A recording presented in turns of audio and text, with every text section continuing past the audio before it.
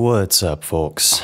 Today, this rabbit is going to show you how to mix metal guitars quickly for a demo or release. Alright, so here we are in Ableton. I want to start by saying a few things. Firstly, the techniques we're about to apply can be done in pretty much any digital audio workstation. Second, you can only polish a turd to a certain degree of shininess it's better to start with a good tone that you like. And the third thing I want to say applies directly to that good tone. A common mistake among guitarists is that they expect the tone from their amp or plugin to be the same when it's in the mix, and that's just not the case. More commonly than not, the tone you've built has too much treble and not enough mids and ends up being thin and piercing in your mix. And as I said, you can only polish a turd to a certain degree of shininess. A good recording tone is something that takes most people many attempts to dial in, so don't feel alone there. The last thing I want to say is that in most cases, your guitars are only going to sound as good as your bass does. You'd be surprised how much the bass is responsible for bringing the guitars to life in a mix. So I recommend starting with a consistent volumed, clean, and big bass tone that sounds decent.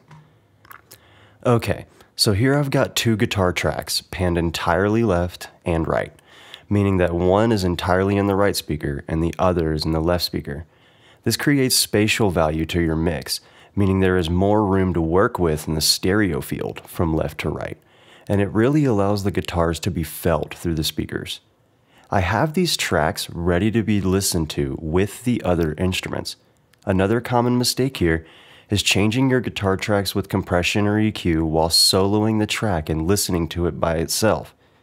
You need to know how it works with the other instruments. If you don't have access to other instruments, then this video will still help you learn how to mix guitar, but you'll also have the bonus of being prepared for full band mixes. Of course, mixing the guitars is best done when the volumes of your other instruments are decent, so keep that in mind. Okay, so here we go. Right now, there are no effects on these guitars. Let's give them a listen.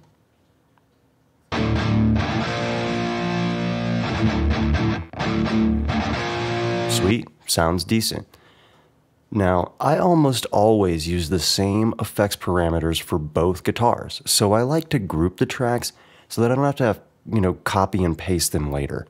However, this isn't a big deal if you don't know how to group, as I copied and pasted the parameters that I put on one guitar to the other for years without issues.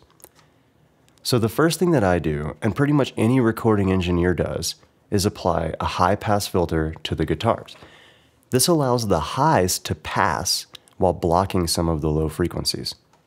This type of EQ or filter is actually used on almost every instrument you hear in almost every genre of song, so it's nice to be familiar with. For just a moment, we're going to solo the track, and after we've made adjustments we think are good, we immediately listen to it in the mix to see if it sounds good with the other instruments. Okay, so the track is soloed. Let's use this type of filter and bring it up to about 90 Hz. Really, I just listen for when the mud goes away. It's the bass frequencies that don't have anything to offer in your mix like what it sounds like when a car with a ridiculous subwoofer drives by, you know, that. Once it's gone, listen to it in the mix. It helps to have the bypass button for your filter that you just applied handy so that you can hear the tracks with and without the filter that you just added. If it sounds good in the mix, then great. Now the guitars can shine through and not compete with the bass guitar and the kick drum. The second thing I do is apply several notch filters to remove unwanted competing frequencies in the guitar tracks. This is another extremely common technique. And don't be afraid by the technical, you know, terminology of it. It's it's actually fairly simple. They are used in this manner. Again, temporarily solo the track. You grab an EQ that has this type of symbol or filter. Then you raise the Q, which is the amount of Hertz field that's being affected, as much as you can. Then you just raise the filter and move left to right, listening for nasty sounds. I almost always drop the piercing noise between 3.5 to 4,000 Hertz. and the muddiness of 400 to 500. And sometimes the 125 and 150, but that depends entirely on if your guitar tracks are competing with the bass and kick drum. When you find a nasty sound, bring the filter down, reducing the gain, or essentially the output, of that frequency. Then adjust the Q very slightly, only if you need to. This is only if the frequencies right next to the one that you found are also unpleasant. Then compare it to the mix. Remember to have that bypass button handy. If you notice that it sounds better, then awesome, you're on the way to a dope mix.